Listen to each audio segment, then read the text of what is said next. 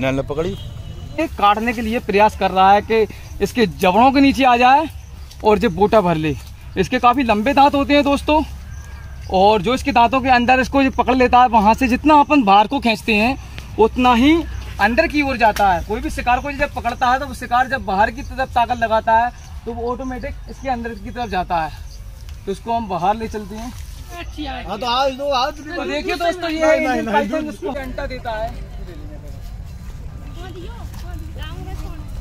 इस तरीके से अंटा लेता है कि खून का पूरा नसों को रोक देता है तो इसको हम पैक करने जा रहे हैं और पैक करने के बाद में इसके वातावरण में इसको हम छोड़ देंगे। चल यार नहीं पकड़ रहे वो कट्टा मोबाइल पकड़ ले वो भैया।